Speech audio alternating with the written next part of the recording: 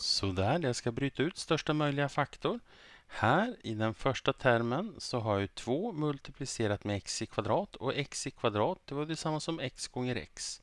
Så 2x i kvadrat består av faktorerna 2 och ett x och ett x till. Och här har jag minus x, så jag har ett x här.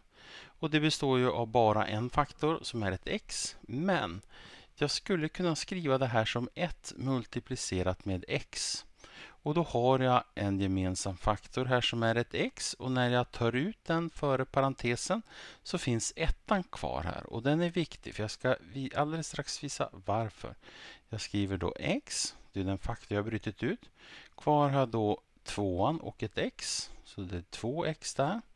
Och så sen minus. Om jag nu säger att x flyttar ut och jag inte sätter en etta här då blir det ju inte det här resultatet om jag multiplicerar in x i parentesen. Och det är viktigt att det hela tiden blir så. Jag ska inte förändra värdet på något sätt på det här uttrycket. Utan det jag gör är att jag bryter ut största möjliga faktor utanför en parentes. Sådär så multiplicerar jag in x så ska det fortfarande bli så här. Och då måste jag sätta dit en etta om jag plockar ut allting som en faktor som finns här i den här termen.